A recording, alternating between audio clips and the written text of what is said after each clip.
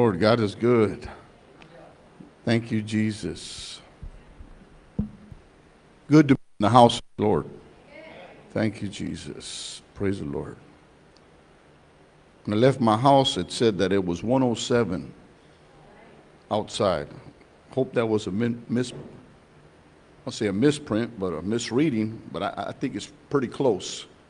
Hallelujah. But God is good. Um, I commend you all for being here today in the heat. You're hungry for the Lord. Uh, it is evident in that. And, and uh, the Bible says if you're hungry and you thirst for his righteousness, you shall be filled. And that's the promise from Almighty God. And I'm excited to be here to deliver the Word of God. I have the honor to do that. Um, it's been eight years. Amen. Let's give the Lord a hand of praise. We'll be celebrating on the 25th. I hope you all could be here to celebrate with us. Hallelujah. God has done a tremendous work, and, and He has done a work in our family, in, in, in my family. So, uh, my wife, myself, my children, um, and to those of the congregation, of course, but to God be all the glory. Just continue. Pastor Richard said, stay the course and watch God move. Amen. Praise the Lord. I want to thank those for the faithful tithers, uh, those that bring their offerings, and those that commit to the building fund. Uh, praise the Lord. May God bless your life.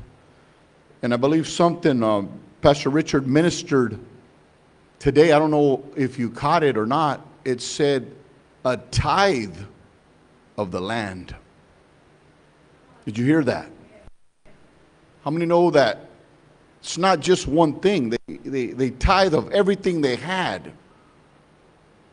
It said tithe of the land.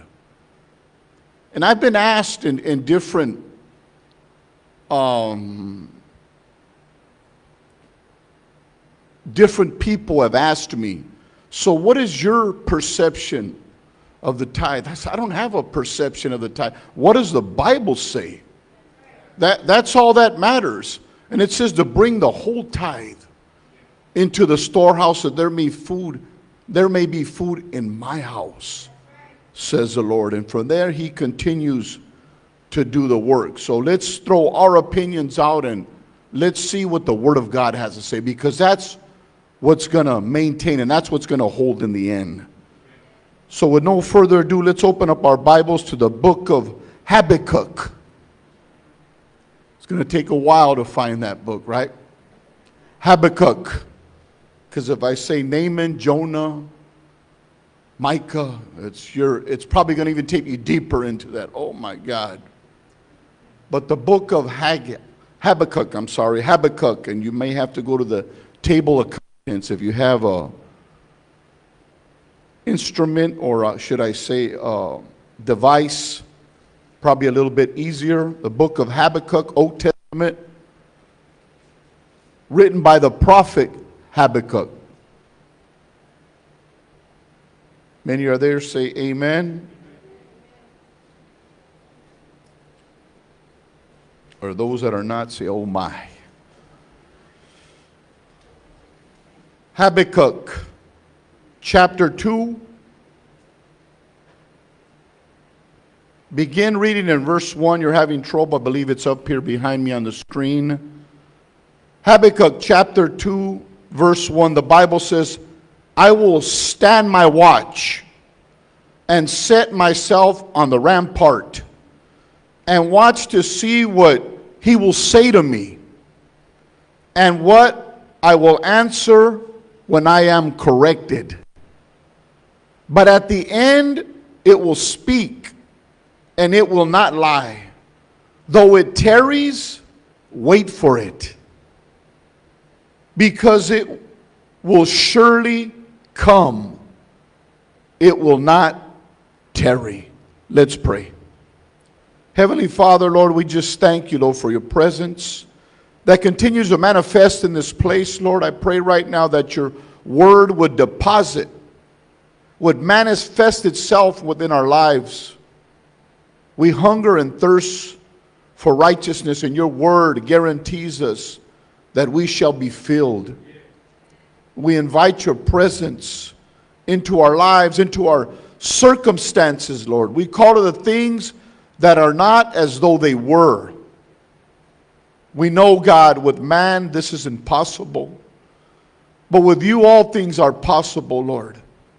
And we thank you in advance for what you're going to do with our lives, God, what you're going to do today in our hearts, in our mindsets, as your word changes, God. It, it elevates us to a whole new level, God, a relationship, a, a true relationship with you, Lord. And that's what we long for. We're careful to give you all the praise and all the glory is yours, and all the saints of God say, Amen and amen. Let's give the Lord a hand of praise. And as you're all hoping, I'm not going to keep you here long, but we're going to allow God to do what He has to do. I believe God has something special for someone here today. Habakkuk chapter 2. Sometimes when a, pro, a prophetic word is spoken, and it's spoken into your spirit. Some of you have had a prophetic word spoken to you. But this is a prophetic word of God that demonstrates that God is going to come through. And when He speaks into our lives, we have to take heed.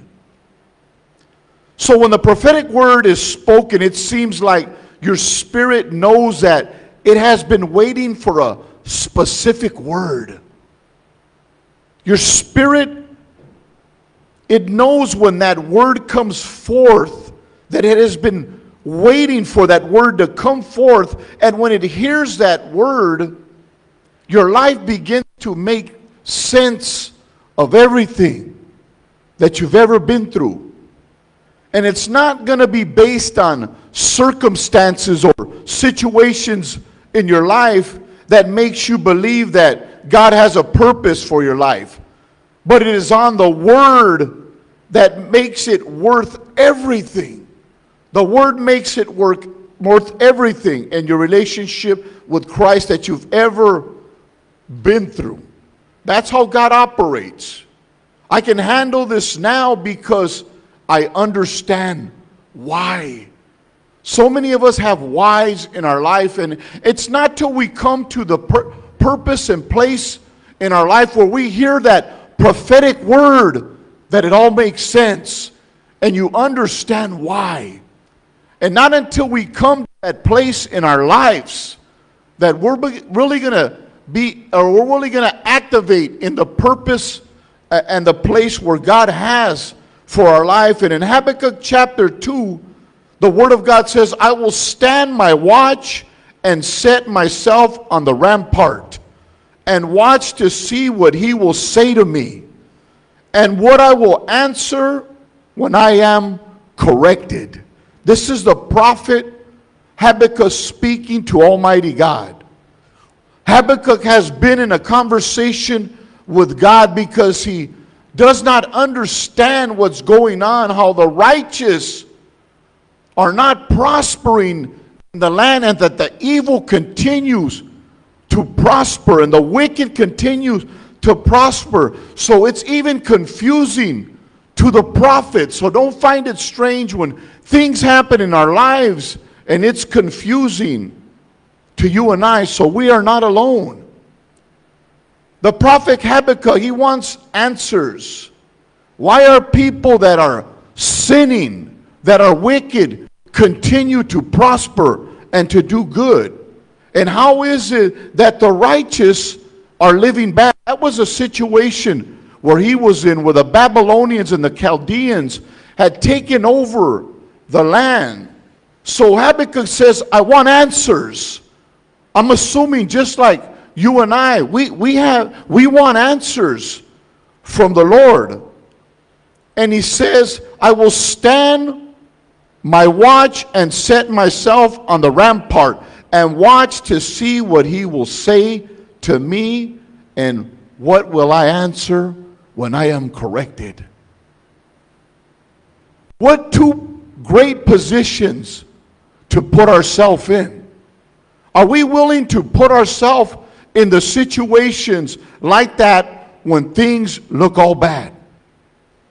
Are we willing to ask the Lord, I will wait as you correct me. I will position myself, I will put myself on a rampart, on a high place. I will position myself to hear from you. And that's what Habakkuk is saying. And then the Lord answered to him and said, Write the vision, write it down, and make it plain on tablets, that he may run who reads it. For the vision is yet for an appointed time. That is the Word of God. That's an awesome. And right now, if it's not doing something into your spirit, you need to examine yourself. Because God has said to write it down. Matter of fact, write it on tablets. And it's going to come to pass. But it's going to be on an appointed time. There's many of us that are waiting on the appointed time in our life. He says, he doesn't say the end. Not at the end are you going to, not in the middle, not three quarters of the way, not when you can see the finish line. He says, at the appointed time. It will speak and it will not lie. Though it tarries, wait for it, because it will surely come. It will not tarry. I'm reading it like, what? God, you're saying two different things here. Thought it would tarry but you got to wait for it? Going to tarry, you're going to wait for it. It shall not tarry, but it's going to surely come, though it tarries. So you imagine Habakkuk, is being transparent. Some of the kind of some of the things that we go through in life. But God said it'll surely come. So is it going to tarry or not? Let's be real. Is he going to tarry? How long do we do we have to wait, God? I've been going through this a long time. So how long is it going to take? That's that's an answer for for some of us. Why God? Why why must you always make things hard? Why why can't you just be simple? Why do you speak to us in, in riddles? In parables?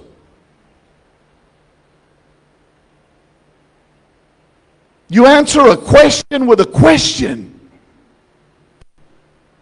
This is what Habakkuk is saying. And God, we, we stress out because we don't know. We don't know the appointed time or, or what you have for us. We stress out because we don't know what you're talking about, God. This is what the prophet Habakkuk is writing. And I'm going to read verse 4. It says, it's not on the screen.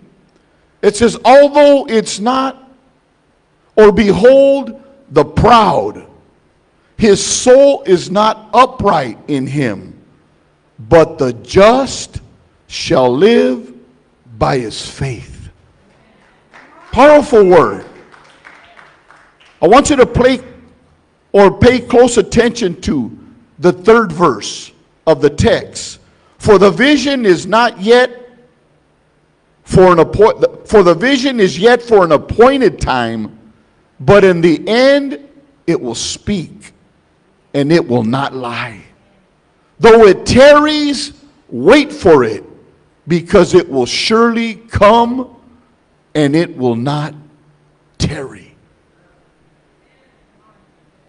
So today it's my assignment to tell you stop stressing. Stop stressing. The just shall live by his faith. And that we understand faith based on what is written about faith. We know that faith is a substance of things hoped for and the evidence of things not seen. We understand that there's no way that we can get faith without hearing about it. That's what the Bible says in the book of Romans. It tells us that faith comes by hearing and hearing the Word of God. Amen.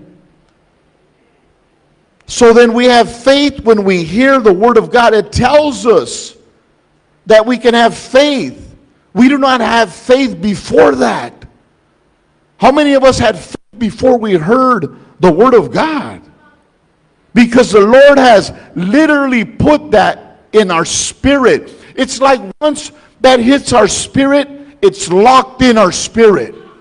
And we know that. We know that we can make it through life and that nothing can separate us from what God has given us, the Word of God that He has placed in as locked in.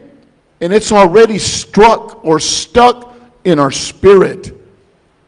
If we had never heard that, that would be one thing. If God would have never have spoken that into our lives, we could just kind of walk through life with no expectation, doing whatever we want to do. But that's not the case. Because God has divinely spoken that and has told you that it's going to be better than this. How many of us, as God has told us, it's going to be better than this? That's the divine promise from God. But if you had never have heard it, then maybe you never would have believed that. But there would have had expectations. You would have had no expectation for anything to get better. Because I wasn't even thinking about anything like that, you might tell yourself. And all I could think about is when. When and how the breakthrough is coming. How many are in this position today and asking yourself, when is my breakthrough coming? When is my breakthrough actually coming? When is a deliverance? When is it coming? If I would never have heard it, then I wouldn't be looking out the door. If I never would have heard it, I wouldn't have been always looking at in that mailbox. If I never have heard it, I would have never been laboring for the victory that God has spoken about. How can you get into the place of victory when the spirit and everything is apart from the spiritual realm that's actually taking place.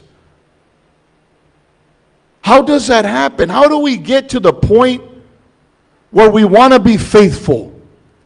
How do we get to that point? We want to believe what the Word of God says, but the longer it takes to get to what He said, how many of us actually can wait for that place? It's called patience. We got to have the patience. And with that, we seem to wither in that word. The times that we are living at may be partial blame with that. Everything we want in life seems to be like right now.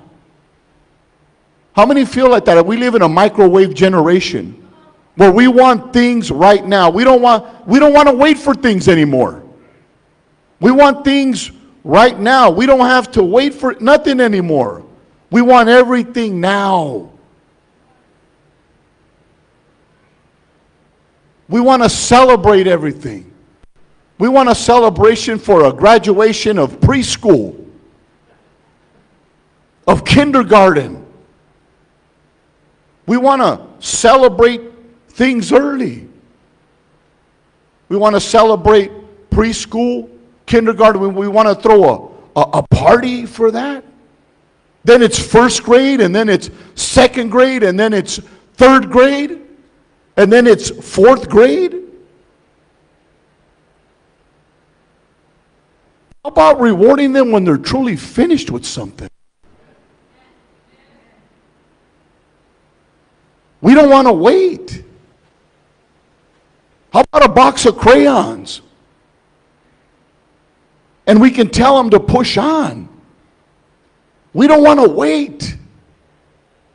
We want to celebrate with expensive gifts and, and expensive celebrations. But that's our reasonable service. You can come talk to me when you graduate eighth grade or maybe high school or, or get a college degree. Right? Then we really got something to talk about. We suffer for six months and we want God to give us everything that we ever asked for. That's how we are. We think we've accomplished everything that God has wants us or God wants us to do within our life. But we live in a generation that wants everything right now. And when we can't have everything right now, we throw tantrums. Oh, come on. We throw tantrums. And have you ever seen an adult throw a tantrum?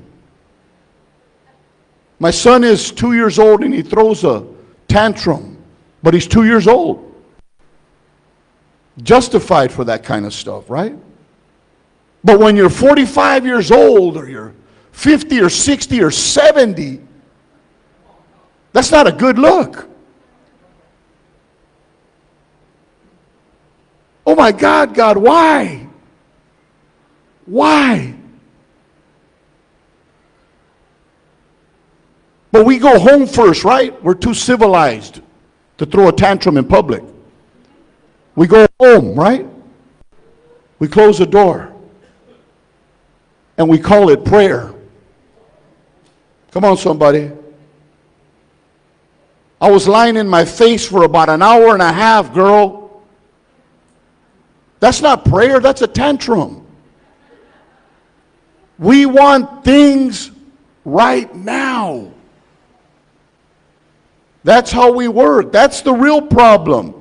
The real problem is we don't want to wait for nothing anymore. And when God speaks something into our spirit, we have to have the ability to wait on God. We got one hand clap. Patiently waiting for the answer.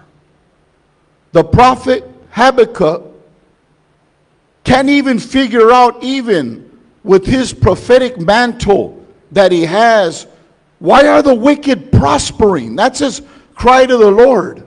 He cannot understand how the Babylonians and the Chaldeans have taken over, but they're not suffering.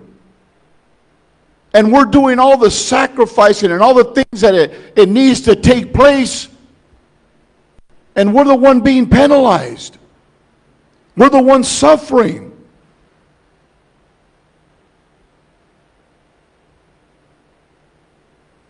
Probably how the, the committee feels, right?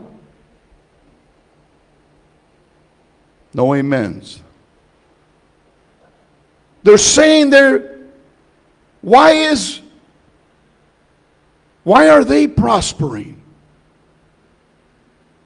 and we're doing the right thing and we're suffering. This is the prayer of the saint that is tired of waiting. That is asking God, what, what, what do you have for us after this? And God starts having a conversation with Habakkuk. And he gets his first answer. Habakkuk gets his first answer from God, and when he goes back and he asks him another question, and he waits for the answer, and the Word of God says that Habakkuk goes to a high place, that he sets himself on a rampart. He goes into the watchtower and he waits for God's answer. when you've been waiting on an answer from the Lord, He has spoken in your spirit and you know it's from God, you must go into a high place. I said, You must go into a high place. You cannot be where the common people are. I said, You cannot be where the common people are, where they're putting seeds of doubt in your mind. You cannot be in that situation trying to tell you that the promise that you heard, that the spirit that you know that it's not going to come to pass. That I don't know why you keep pressing that the word of God that you heard isn't it isn't going to happen in your life. You cannot be a, around them type of individuals in your life that are speaking negative thoughts and making you second guess the purpose of God in your life. You got to separate from friends. You're going to have to separate from family. Oh my God. If you have to isolate yourself, some of you, God has put you in a season of isolation to get away from the familiar. Are you hearing me? To get away from all those familiar voices. that you don't even recognize anymore. All you hear is a voices that you don't even recognize the voice of God in your life anymore. We got to get in that place. We got to go to that high place. Habakkuk understood and, and realized he had to get higher to hear from God. He had to set himself apart. God wants us to get us in a place that we have to get so high that we don't hear anybody but Him. We got to put ourselves in a position to hear from God. To get every filthy imagination out of your spirit, your, your old way of thinking. We got to get all that stuff just, but you're going to have to do that if you want God to do a new thing in your life. Because God wants to do a new thing in your life, but you're going to have to separate if you want that answer from God. The answer is not down here. The answer is from above. That's where the answer is. Glory to God. Somebody say, I got to go higher. Even though I don't feel like it, I got to go higher. Even though I feel like laying down and just dying, I got to go higher. My spirit don't let me rest because the spoken word that is wrapped in my spirit it's not going to let me go. I can't sleep, I can't get no rest because the spirit of God is dealing with your life. I can't get comfortable. I know you can't. Because the Spirit of God is dealing. When I go around my old friend, I can't get comfortable. Because the Spirit of God has wrapped Himself around your spirit. My family doesn't even understand me. Of course not. When I go to the reunions, I'm the black sheep. They're talking about one thing and I'm talking about another. Have you been there?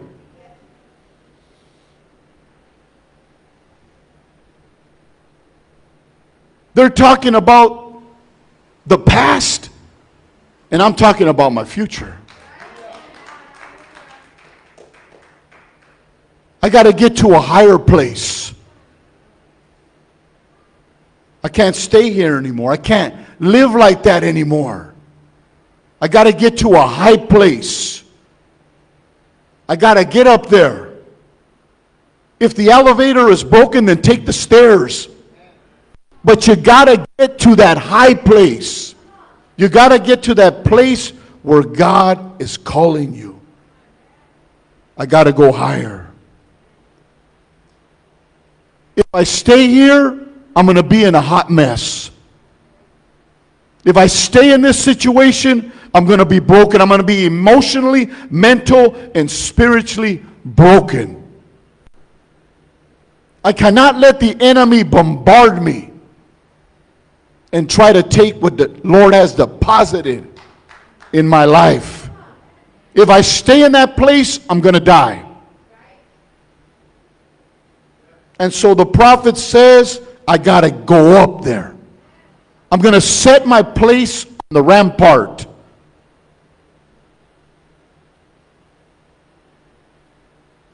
I got to hear God correctly. I've already heard him correct me. But I hear I got to hear God correctly. That's what God wants in our life. Everybody else is getting blessed, but I'm in the same place. And the difference is that I'm down here and they're up here. That's the difference. They're up and I'm down. No matter how you get there, you got to go higher. Expect to be alone. If you're going to go higher, then expect to be alone. God, I'm alone and, and, and I don't understand. You don't have time for me.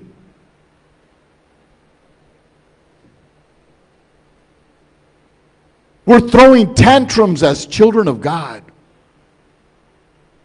But we got to go to a higher place. I'm alone, God. Well, you don't have time to be around anybody else. You're trying to hear from God. You want an answer from God. You're waiting on God. I need to know why I grew up without a father. I need an answer. I don't have the time to replace the time that I didn't have with my father, so I need an answer, God. I need you to give me an answer. I don't need a relationship. I need an answer. I need an answer from you, God. When I get a, an answer from you, then I can get a relationship. Come on, somebody.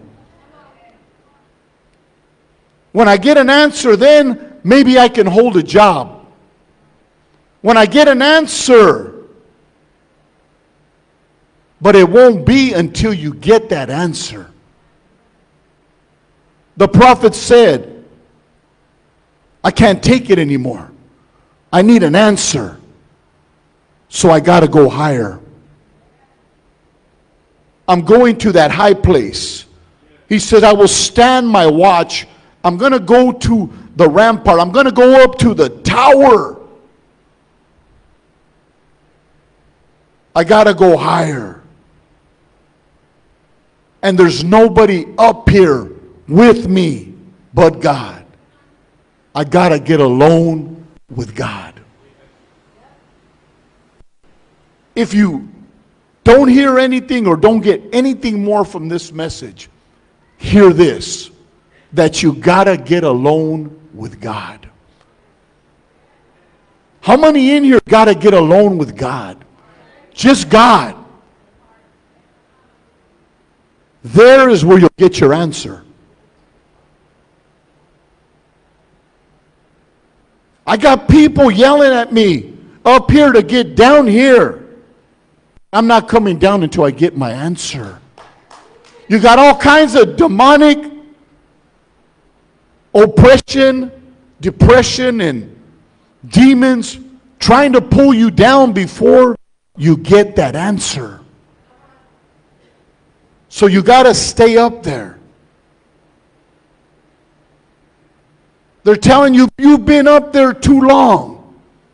Come down. But I'm not coming down until I get that answer.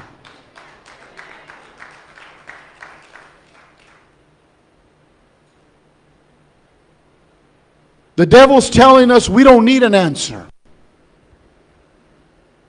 Just come back down. Come back down to that addition. Come back down to that relationship. Come da- back down to those familiar places.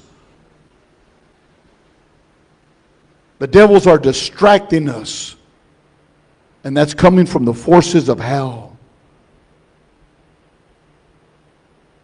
Telling you just come back to the arms of distraction. You don't need an answer.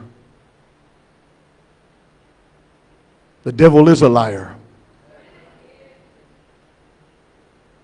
I'm going to stay up there as long as it takes to hear from God. Since He said it, I'm going to have it as long as it takes. So he goes up and see what happens. So Habakkuk goes up and the Lord comes down. That's how it works. Habakkuk goes up and the Lord comes down. When he gets up, he says that all the sacrifices, all that sacrifice you took to get to me, I'm going to reward you. I'm coming down. That's as high as you can go, so I'm coming down here to meet you. That's how the Lord works. He says, when you sacrifice all that to get up here, that's the highest place you can go. That's where I'm going to meet you. Somebody's got to give the Lord a hand of praise. That's where I'm going to become down and become Emmanuel. God is with us. I'm coming down into the midst of your situation because you went up, I'm coming down. So, what God says right now is now you got to write it down. Write the vision down. Write it down on tablets, he says. Everything that I've spoken to you so that you're able, so that who hears it is able to run with it. Are you going to run with it? Here's why you need to write it down. Because you're going to have to remember that to a T. That's why you're going to have to write it down. That's why the Bible says to write it down. And if you don't write it down, the enemy's going to come with a twist and a lie to fool you out of the blessing. He'll come to distract you. He'll twist it up and you'll making start making up stuff yourself to justify what you're going through. To justify the situations that'll fit your life that you're living at that time. Come on, somebody. I wish I had a witness. You'll start making up stuff. But when you write it down, you can go back to it and you're saying, no, that, that ain't it. You can go back to it, I said, and you can say, no, no, no, that's not it. God is not the author of confusion. That's not it. Just that you haven't written it down so that you can get clarification on that. I know you're believing for a husband or a wife. Hallelujah.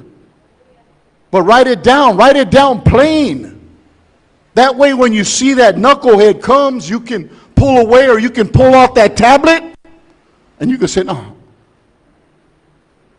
my bad. I thought I was talking to the right person. But I'm sorry about that. That's my bad. Write down the vision on the tablet. Write it down. That way you don't go starting a new business with a crooked partner that takes you in another direction that you truly wanted. Write it down so that you can make it plain, so that he who reads it can run. I don't have time to get it wrong anymore. I said, we don't have time to get it wrong anymore. I can't go through this again.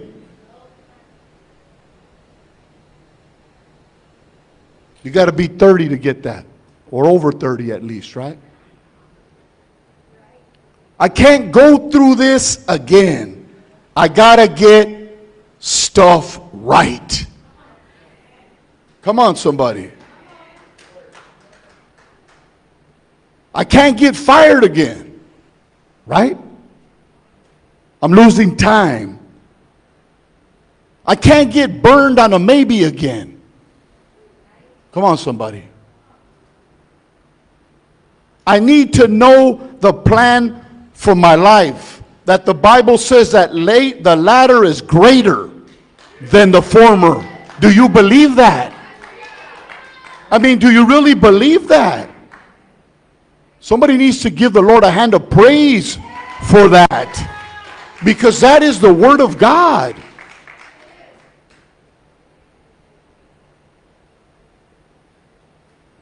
I got to write it down because it's coming. You got to write it down because it's coming. It's going to be time to run with the vision that God has given you. Let's give the Lord a hand of praise.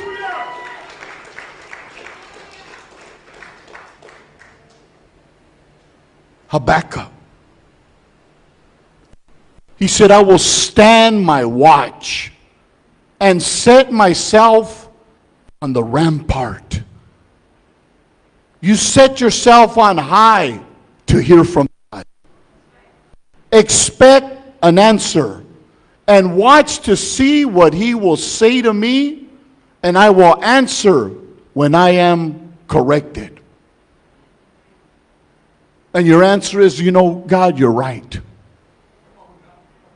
I thank you for that. I thank you for not giving that to me at that time. Or is that just me? I thank you, God, for correcting me. But I would have never have found that out unless I waited. I put myself on a position to hear from you and I waited on you, God. And you gave me an answer. Maybe the answer I didn't want to know or believe. But God, you gave me an answer. But now he says, write the vision and make it plain on tablets. Write it down. Write it down.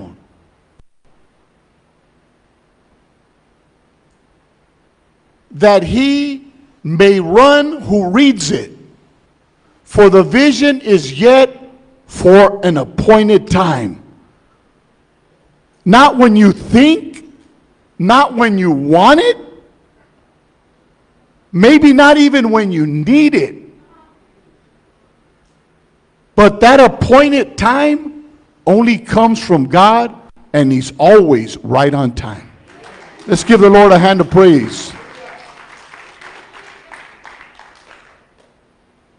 And He says, But at the end, it will speak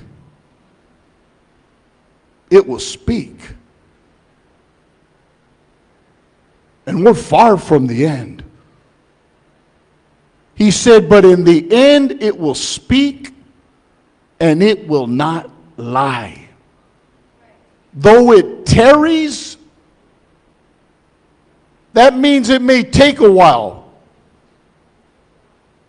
I didn't say a little or a long, neither did God.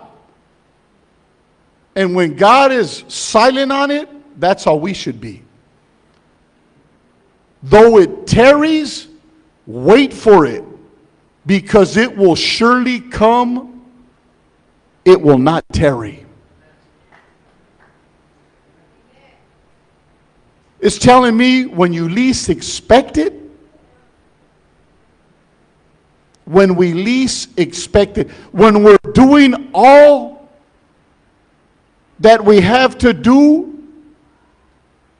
to honor the Word of God and to fulfill the Word of God, when we're on that course and we write the vision and we make it plain, He's saying, though it tarries, maybe to you it seems like a long time.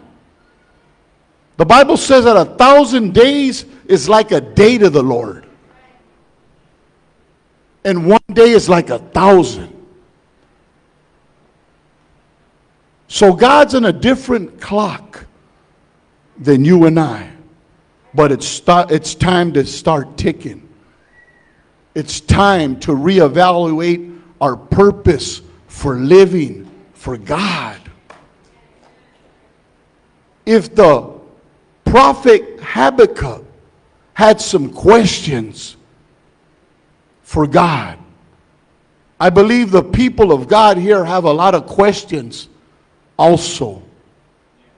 But thank God for the questions and the answers that He has given us for His people, His children, to evaluate, for them to correspond with the Spirit that He gives with us, that we understand and we understand the vision.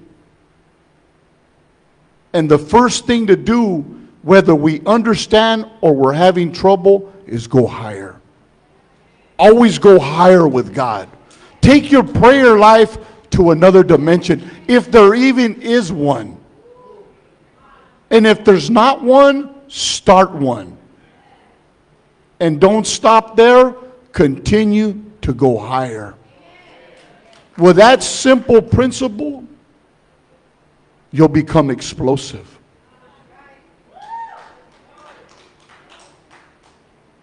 Enoch is gone from us because the Bible said that he pleased God and God took him. Because he pleased God.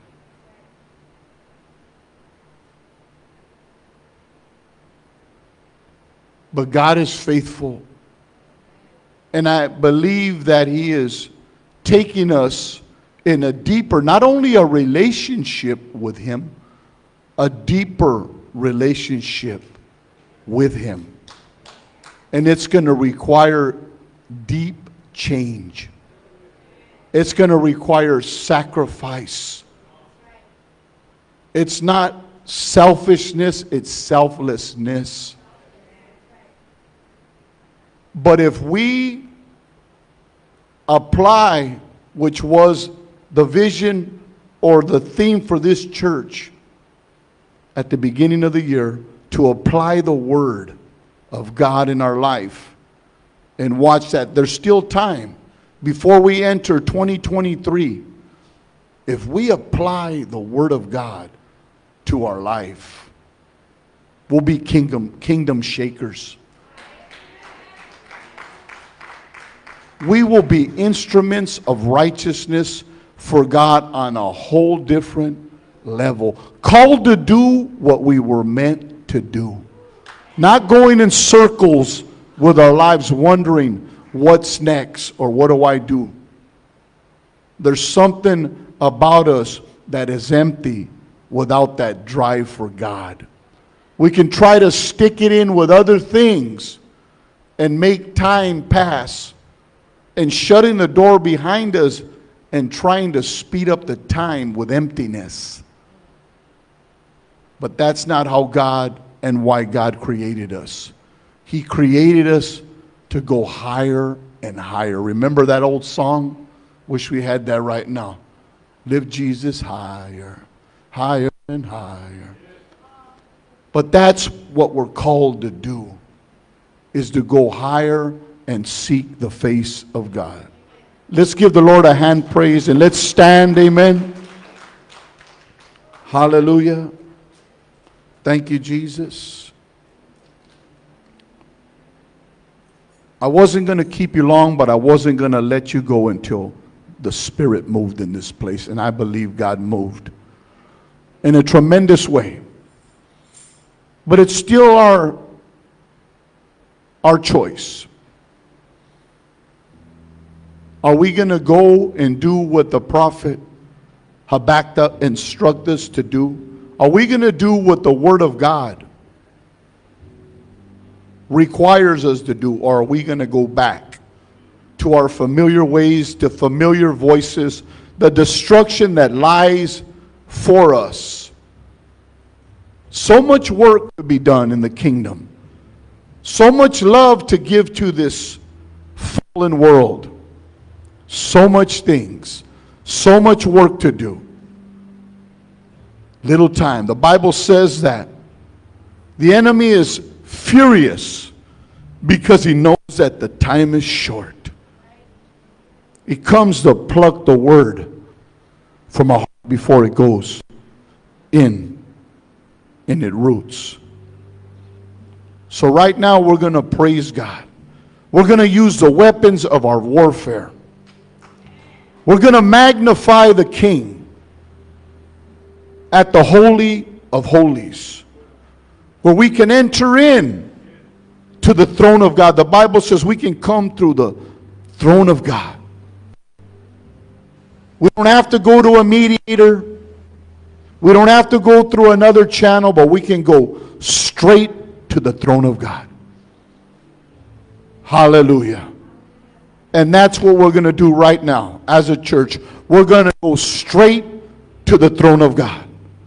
Hallelujah. Ramba Koryada Bashim. God, we want more of you, Lord. We don't want a show and we don't want entertainment. But we want you, Lord. We want more of you. We're going to go to a higher place, God, in our life. We're going to position ourselves to hear from you because we want to complete what you started. We know you are the completer, God, but we want to ob- abide. We want to obey, Lord.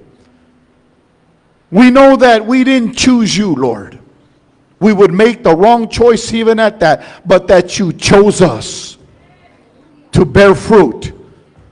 Matter of fact, your word says that you have ordained us to bear fruit and fruit that should last. We're going to give you praise and glory because your word says that after that we